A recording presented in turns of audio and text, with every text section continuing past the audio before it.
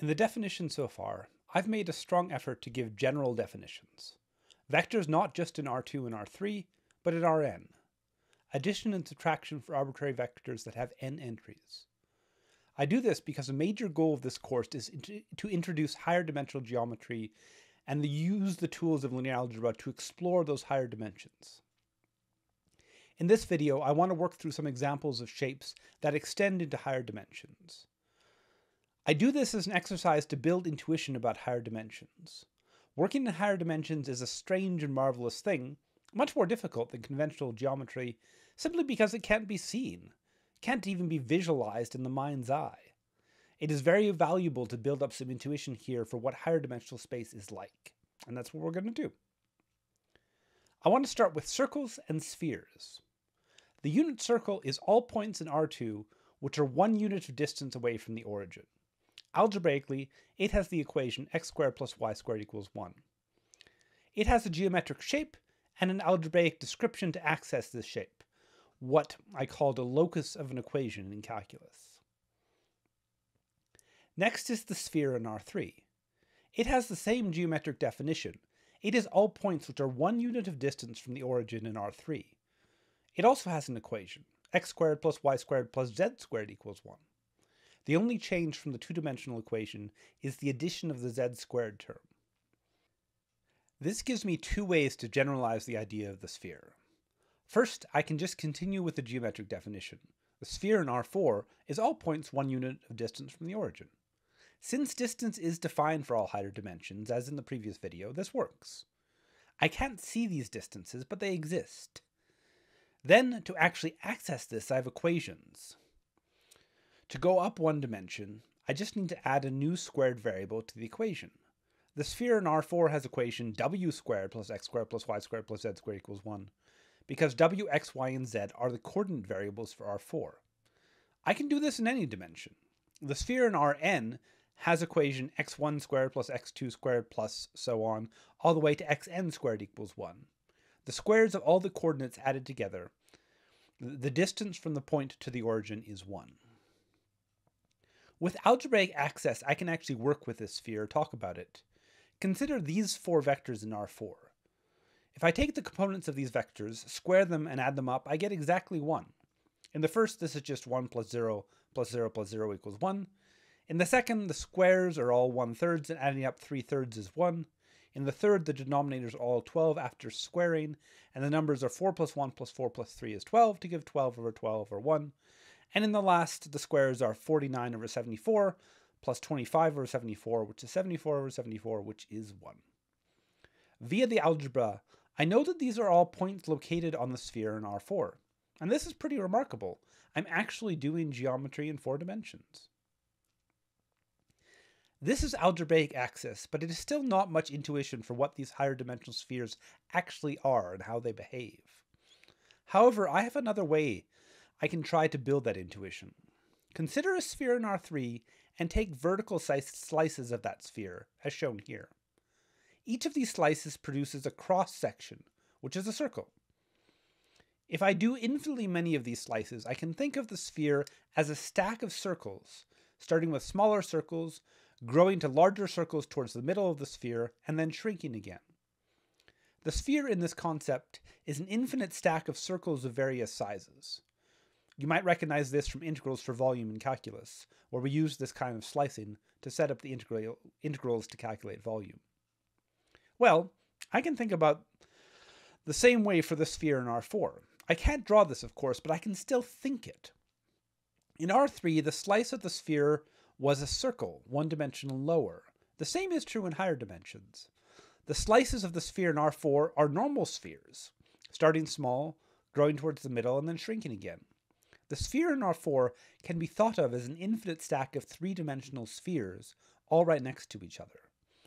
Now, I can't visually imagine that. I can't put a whole three-dimensional sphere right next to another without squishing it.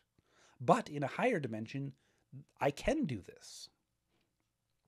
This is all a bit mind-boggling, but I hope by thinking through the idea, it gives you a bit of intuition about this four-dimensional sphere. Let me move on now to cubes. For the cube, I want to talk about higher dimensional versions by presenting a way to construct cubes. I'm going to start with one dimension where a cube, so to speak, is just a line segment.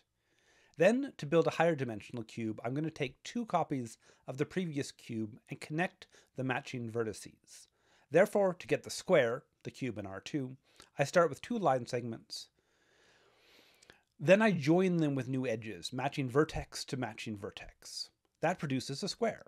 And now I'll start with two squares, one in front and one behind, and if I match all the connecting vertices, I, this produces the ordinary cube.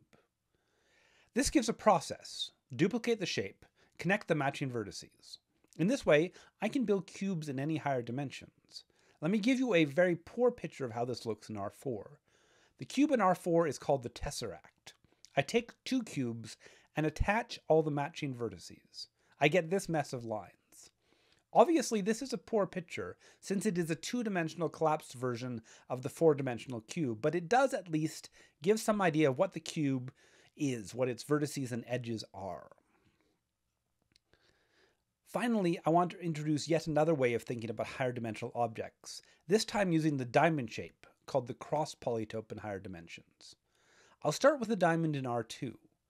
The way to construct these shapes is to have pairs of vertices, one for each dimension. So in R2, I have two pairs, which means four vertices. Then I attach all vertices except for those directly opposite. So here I get the four lines that produce a diamond.